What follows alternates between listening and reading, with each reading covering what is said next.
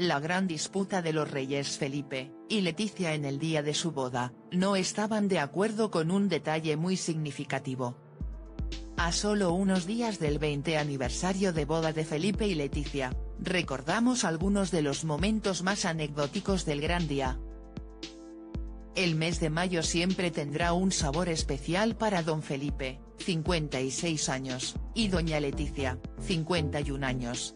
En poco más de 10 días los reyes de España celebrarán su 20 aniversario de boda. Dos décadas de amor en los que no todo ha sido color de rosa, cierto, pero que les ha llevado a convertirse en una de las parejas reales más aclamadas dentro y fuera de nuestras fronteras gracias, a diferencia de otras casas reales que aprovechan este tipo de conmemoraciones para celebrarlo por todo lo alto, en España no se espera ningún tipo de despliegue especial. Don Felipe y doña Leticia son muy reacios a celebrar este tipo de aniversarios, al menos de manera pública.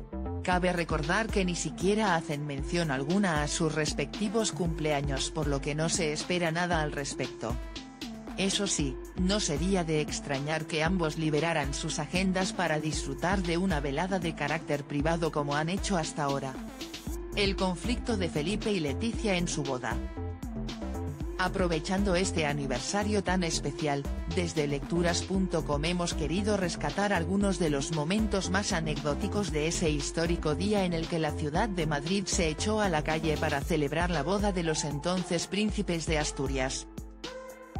Leticia Ortiz se despertó con fiebre ese día, y se la vio visiblemente incómoda con un imponente vestido de inspiración señorial creado por Pertegaz que pesaba más de 15 kilos, pero en toda boda que se precie lo importante es la comida.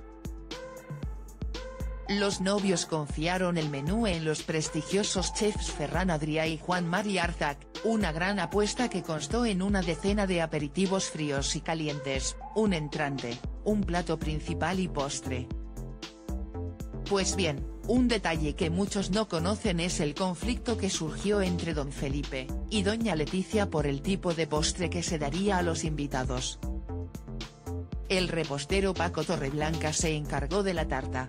Y fue él quien años más tarde desveló que a los actuales reyes les costó ponerse de acuerdo porque tenían gustos muy diferentes, como a don Felipe le gusta el chocolate amargo, el cocinero les planteó una opción que a Leticia no le gustó. Así que dio un paso atrás, y optó por un postre más clásico a base de chocolate con leche y avellanas, más del gusto de la novia. El entonces príncipe de Asturias aceptó de buena gana, y el resultado final fue una gran tarta nupcial de 2 metros de alto que pesaba alrededor de 150 kilos. Una auténtica obra de ingeniería que asombró a los miles de invitados por su sabor y estética.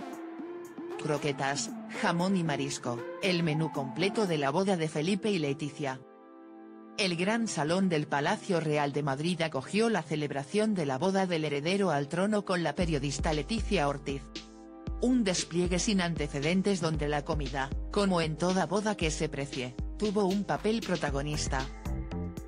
El menú diseñado por los prestigiosos chefs españoles Ferran Adrià y Juan Mari Arzac consistió en un cóctel con 12 platos tan icónicos como, jamón de jabugo, queso manchego, croquetas, tartaletas de esquesada, mousse de pescado de roca, patatas rellenas de changurro, tostas de champiñón, puntas de espárragos verdes fritos, vieiras fritas empanadas, canapé de gamonedo y laperal con manzana, tirabuzones de lenguado y cestas de verduras.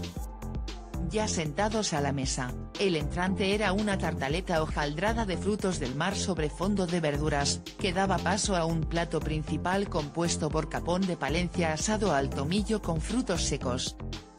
Todo, regado por una selecta selección de vinos de toda España. Como guiño a la tierra de la novia, tampoco podía faltar la sidra.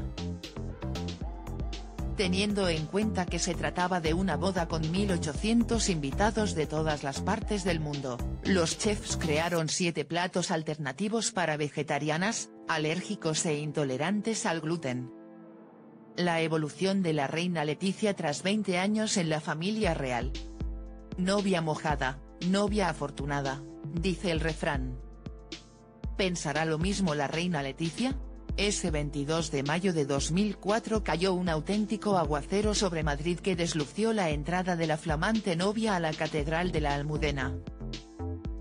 Pero desde entonces lo cierto es que su evolución ha sido estratosférica, tanto que se ha convertido en una pieza clave en el porvenir de la Casa Real Española. Su cercanía, profesionalidad y naturalidad la ha catapultado a lo más alto dentro del universo royal, y no tiene intención de dejarse amedrentar por nada ni por nadie. En la actualidad ocupa el podio de las reinas más influyentes del mundo, y la siguen muy de cerca Máxima de Holanda o Rania de Jordania, entre otras.